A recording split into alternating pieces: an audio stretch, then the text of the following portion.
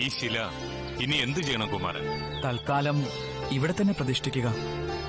അരുൾമൊഴി അവൾക്ക് അറിയാവുന്ന തരത്തിൽ നിത്യവും ശിലയിൽ നാഗാർച്ചന നടത്തട്ടെ.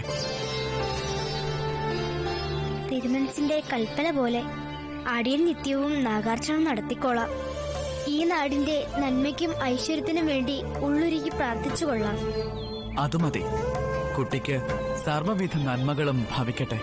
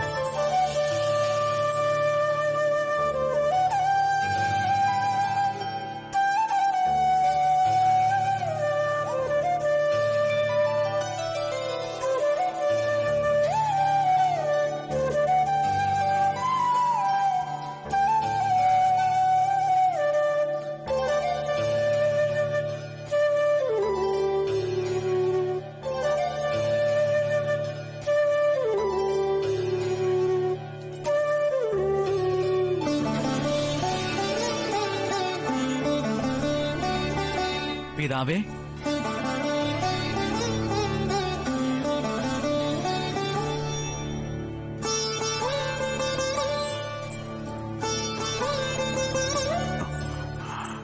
എന്തായി കുമാര? ആ വേരിനടിയിലുള്ള നിലം കുഴിച്ചു നോക്കിയപ്പോൾ വളരെ പുരാതനമായ ഒരു നാഗശില കിട്ടി.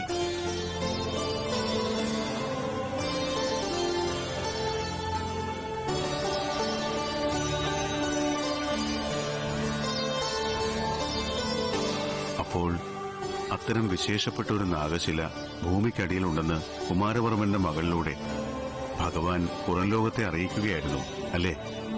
അതെ. കുമാരവർമ്മന്റെ മകൾ മുടങ്ങാതെ നാഗാരാധന നടത്തുന്നവളായിരിക്കാം. അതുകൊണ്ടാവാം ആ കുട്ടി തന്നെ നാഗശില കുഴിച്ചെടുക്കാൻ കാരണക്കാരിയായത് അല്ലേ കുമാര? അതെ മാതാവേ. ഭഗവാൻ അഭിഷേകം ചെയ്യുവാനുള്ള പാൽ പാഴായി പോയിട്ടില്ല. നാഗശിലയിലെ നാഗശക്തി തന്നെയാണ്. അത് പാനം ചെയ്തിരിക്കുന്നതും. എന്നിട്ട് ആ നാഗശില എന്ത് ചെയ്തു?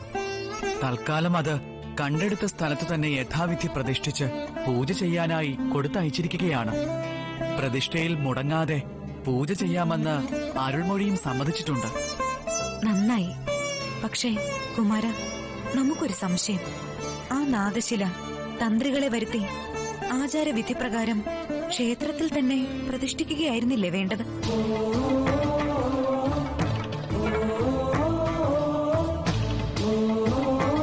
മാതാവേ മഹാഭക്തയായ അരുൾമൊഴി എവിടെ പൂജ ചെയ്യുന്നുവോ അവിടം ക്ഷേത്ര തുല്യമാണെന്ന് അറിയുക. എല്ലാം മഹാദേവന്റെ ലീലാവിലാസങ്ങൾ. ദേശസ്നേഹിയും സാത്വികനുമായ കുമാരവർമ്മന് അരുൾമൊഴിയെ പോലൊരു മകളെ ലഭിച്ചത് മഹാപുണ്യം തന്നെ. शंभु 德瓦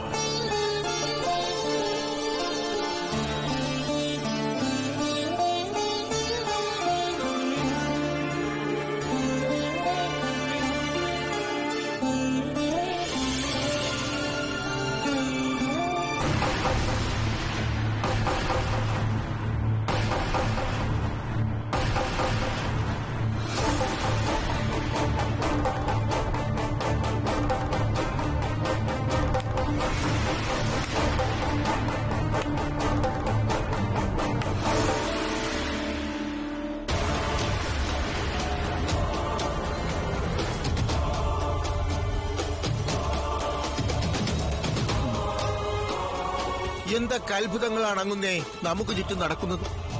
മുതിർന്നവരും കുട്ടികളുമായി എത്രയോ പേരെ ആ വഴി പോകുന്നത്. എന്നിട്ട് സേനാധിപന്റെ മകളുടെ കാൽ മാത്രം ഒരു വേരിൽ തട്ടാനും പാലങ്ങോട്ട് തൂവിപ്പോവാനും. ഓ അത്യാത്ഭുതം തന്നെ. ഇതിൽ വലിയ അത്ഭുതമൊന്നുമില്ല ചക്രപാണി. ഹീനജാതിക്കാരനായ ഒരു പണിക്കാരൻ നിലം കളച്ചുകൊണ്ടിരുന്നപ്പോ തൂമ്പ ഒരു പാറയിൽ തട്ടി രക്തം വന്ന കഥ. ഞാൻ എത്രയോ നാൾ മുമ്പ് കേട്ടിരിക്കുന്നു. പണിക്കാരന്റെ കാലിൽ തൂമ്പ തട്ടി മുറിഞ്ഞ ചോരയാ ആ പാറയിൽ കൂടി ഒഴുകിയത്. ഓ. ഇതും അങ്ങനെ വല്ലതും ആയിരിക്കും. ആ പെൺകുട്ടിക്ക് മുമ്പേ അതുവഴി പോയ ആരുടെയോ ദേഹത്ത് നിന്നൊഴുകിയ ചോരയായിരിക്കും.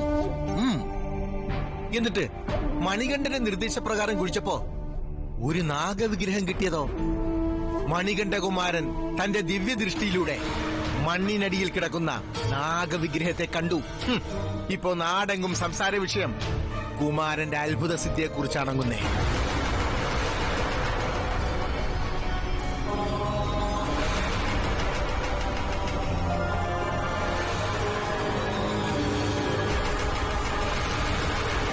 മന്ത്രി അദ്ദേഹം തൊടുന്നതും പിടിക്കുന്നതുമെല്ലാം പൊല്ലാപ്പിൽ കലാശിക്കുമ്പോ മണികണ്ഠകുമാരൻ തൊടുന്നിടത്തെല്ലാം മഹാത്ഭുതങ്ങൾ.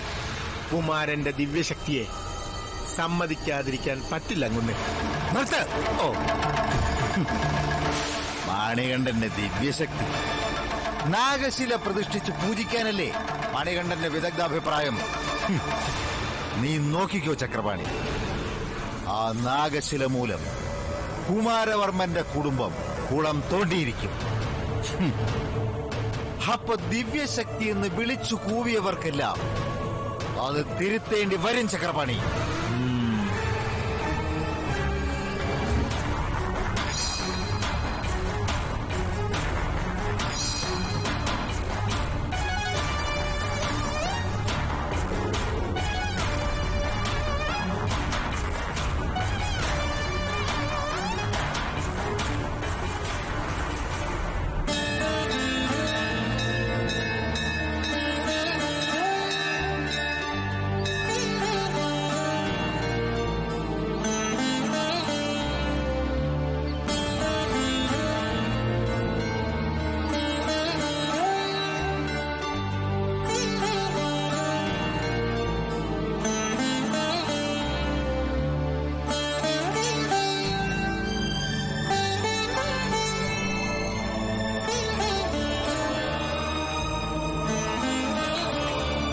വിശേഷങ്ങളൊക്കെ അറിഞ്ഞു.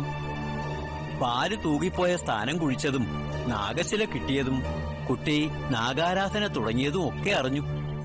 അപ്പോൾ അരുൾമൊഴിയും നമ്മെപ്പോലെ ഒരു പൂജാരി ആയിരിക്കുന്നു. എനിക്കറിയുന്ന പോലെ പൂജ നടത്തിയാൽ മതിയെന്ന കുമാരൻ തിരുമനസിന്റെ വാക്കിന്റെ ബലത്തിലാണ് ഞാൻ നാഗാരാധന നടത്തുന്നത്. അല്ലാതെ എനിക്ക് മന്ത്രങ്ങളും വിധികളും ഒന്നും അറിയില്ലല്ലോ തിരുമേനി. പൂജകളും വിധികളും ഒക്കെ അറിഞ്ഞിരിക്കണം. പക്ഷേ പൂജ നടത്തുന്നതിന് വേണ്ട ഏറ്റവും വലിയ യോഗ്യത കറയറ്റ ഭക്തിയാണ്. അത് കുട്ടിക്ക് വേണ്ടുവോളം ഉണ്ടല്ലോ. അതുകൊണ്ട് ഭയലേശമന്യേ ധൈര്യമായി പൂജ നടത്തിക്കോളൂ. എനിക്കൊരു സംശയമുണ്ട് തിരുമേനി. ചോദിച്ചോളൂ. മഹാദേവന്റെ ആഭരണമാണ് പാമ്പ്. വിഷ്ണുദേവന്റെ ശയ്യയും പാമ്പാണ്. അതുകൊണ്ടാണോ പാമ്പിനെയും ആരാധിക്കുന്നത്? അതെ പണ്ട് പുരാതന കാലം മുതൽക്ക് തന്നെ മനുഷ്യൻ പ്രകൃതിയെ ആരാധിച്ചിരുന്നു. ദൈവങ്ങളെ കൂടാതെ പ്രകൃതിയിലെ പല ജീവികളെയും ആരാധനാപാത്രമായി കണ്ടിരുന്നു. ആ കൂട്ടത്തിൽ ഏറ്റവും പ്രചാരം നേടിയത് നാഗാരാധനയായിരുന്നു. മനുഷ്യരുടെ കാവൽ ദൈവങ്ങളാണ് നാഗങ്ങളെന്ന് വിശ്വസിച്ചു പോയിരുന്നു ഞാനിപ്പോ നാഗശിലയിൽ പൂക്കളും ചന്ദനവും വെള്ളവും ഒക്കെ അർച്ചിക്കുന്നുണ്ട്. പാലഭിഷേകവും നടത്തുന്നുണ്ട്. അതൊക്കെ മതിയോ തിരുമേനി? നാഗദൈവങ്ങൾക്ക് തൃപ്തി ഉണ്ടാവാൻ. മതിയല്ലോ. മാസം തോറും ആയില്യത്തിനാൾ നാഗശിലയിൽ നൂറും പാലും അഭിഷേകം ചെയ്യുന്നത് അത്യുത്തമമാണ്. അങ്ങനെ ചെയ്തു കൊള്ളാം തിരുമേനി. നന്മയുണ്ടാകും. നാൾക്ക് നാൾ അഭിവൃദ്ധി ഉണ്ടാകും നാഗപ്രീതി ഉണ്ടായാൽ കുട്ടിക്ക് മാത്രമല്ല മാതാപിതാക്കൾക്കും കുട്ടിക്ക് പിറക്കാനിരിക്കുന്ന സന്തതികൾക്കും ശ്രേയസ്സും ധനാഭിവൃദ്ധിയും ഫലം. കൂട്ടത്തിൽ ക്ഷേത്രത്തിൽ നടത്തുന്ന പാലഭിഷേകം മുടങ്ങിപ്പോകരുത്. ഇല്ല തിരുമേനി എനിക്ക് കഴിയുന്ന നാൾ വരെ ഭഗവാന്റെ പാലഭിഷേകം ഞാൻ മുടക്കില്ല.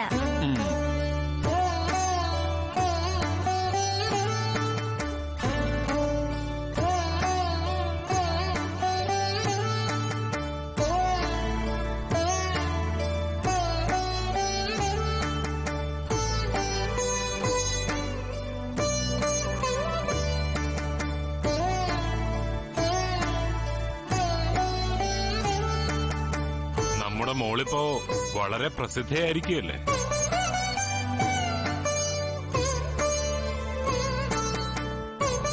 വേരിൽ തട്ടി വീണ് പാൽ തൂവിപ്പോയതും വേരിനടിയിൽ നിന്നും നാഗശില കുഴിച്ചെടുത്തതുമായ സംഭവങ്ങളൊക്കെ നാട്ടിലെങ്ങും അറിഞ്ഞിരിക്കുന്നു. എല്ലാവരും പുകഴ്ത്തുന്നത് അരുൾമൊഴിയുടെ ഭക്തിയെയാണ്. ഇത്രയും നാൾ അച്ഛനും അമ്മയായിരുന്നു എന്റെ ഭക്തിയെ പുകഴ്ത്തിയിരുന്നത്. ഇപ്പോ നാട്ടുകാരും പുകഴ്ത്തുന്നു. അത്രയ്ക്ക് വിലപ്പെട്ടതാണോ അമ്മേ ഭക്തി? സംശയമുണ്ടോ? എത്രയോ കുട്ടികൾ അതുവഴി പോകുന്നു. മണ്ണിനടിയിൽ നാഗശില ഉണ്ടെന്ന് അറിയിക്കാൻ അവരാരും തട്ടി വീണില്ലല്ലോ. നിനക്കല്ലേ അതിനുള്ള അപൂർവ ഭാഗ്യം ലഭിച്ചത്? നിന്റെ ഭക്തിയുടെ മഹാത്മ്യം കൊണ്ടാ അങ്ങനെ സംഭവിച്ചത്.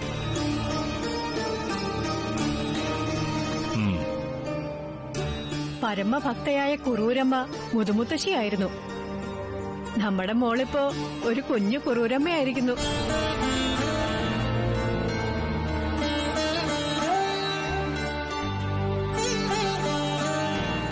എന്താണ് ഈ പാത്രത്തിൽ.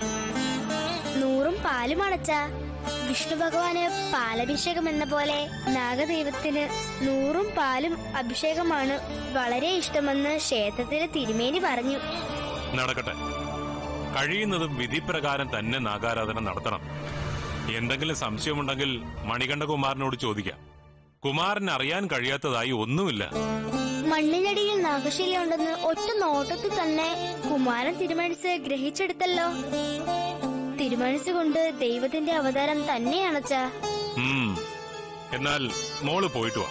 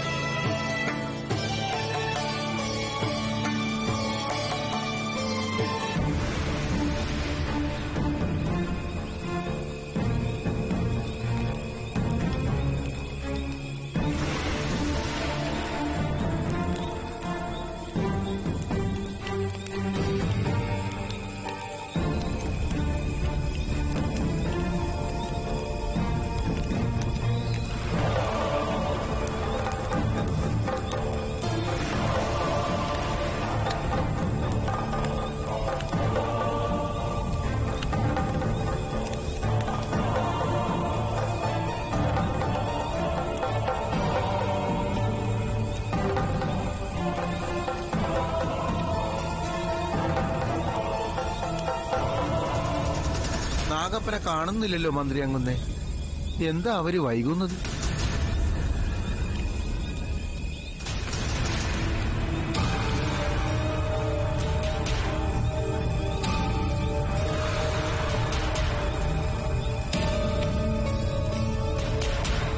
വരുന്നുണ്ട് വരുന്നുണ്ട്. അവർ വരുന്നുണ്ട്.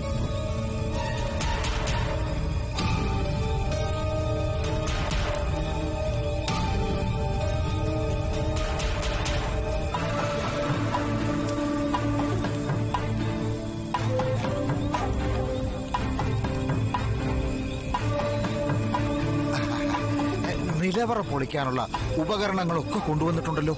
അതൊക്കെ ഈ ഭാണ്ഡത്തിലുണ്ട്. ആ. എന്നാ വരൂ വരൂ വരൂ.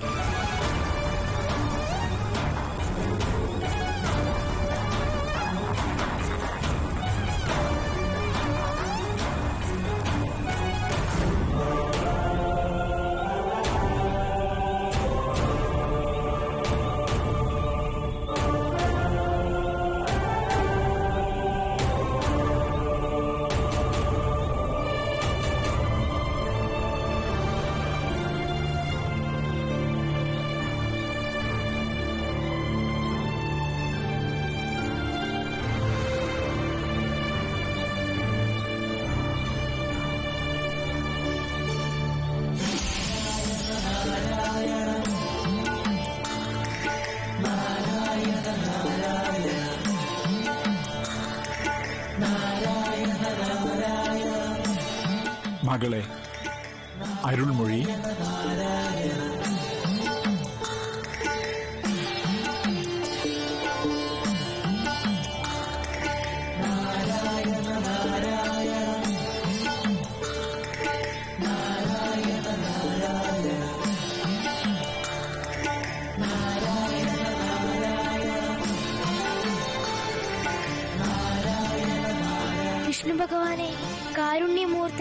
ഭക്തരക്ഷക അനുഗ്രഹിക്കണം.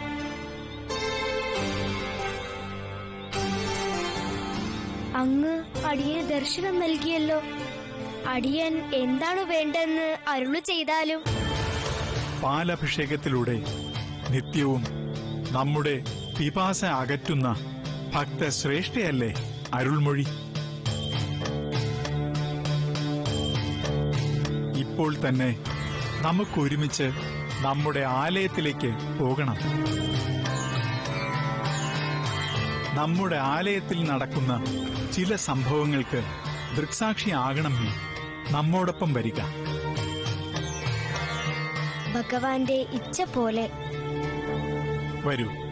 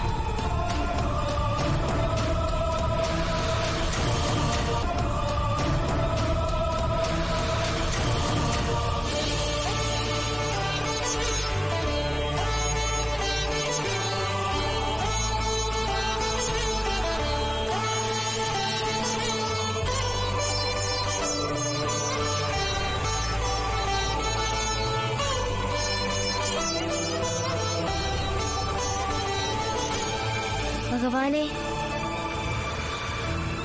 ഇത് അങ്ങയുടെ ക്ഷേത്രമാണല്ലോ. എന്തിനാണ് അടിയനെ ക്ഷേത്രത്തിലേക്ക് കൂട്ടിക്കൊണ്ടുവന്നത്? നിത്യവും നമ്മെ പാലൂട്ടുന്ന ശ്രേഷ്ഠയായ ഭക്തിയാണല്ലോ അരുൾമൊഴി ഈ ക്ഷേത്രത്തിൽ നടക്കുന്ന വഴിപാടുകളിൽ നമുക്ക് ഏറ്റവും പഥ്യമായിട്ടുള്ളത് അരുൾമൊഴിയുടെ പാലഭിഷേകമാണ്. അങ്ങനെ നമ്മെ പാലൂട്ടുന്ന അരുൾമൊഴിയെ ഒരു ദൗത്യം ഏൽപ്പിക്കാനാണ് നാം ക്ഷേത്രത്തിലേക്ക് കൂട്ടിയത്. എന്താ ഭയമുണ്ടോ അരുൾമൊഴിക്ക്? ഇല്ല ഈ പ്രപഞ്ചത്തിന്റെ നാഥനായ അങ്ങൊപ്പമുള്ളപ്പോ അടിയൻ ആരെ ഭയപ്പെടണം? എന്നാൽ നാം ഒപ്പമില്ലെന്ന് കണ്ടാലും ഭയക്കരുത്.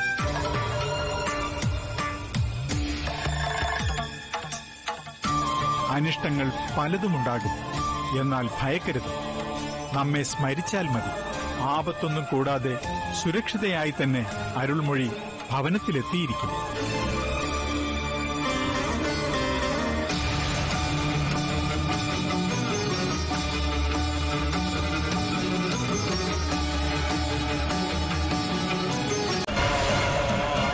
യഥാവിധി ആരാധിച്ചു തുടങ്ങിയിരിക്കുന്നു നാഗശിലേ.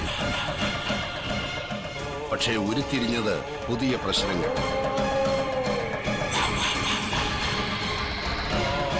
ഉഗ്രകോപത്തിന്റെ നാൾവഴികളിൽ ഇനി പ്രശ്ന പരിഹാര ക്രിയകൾ.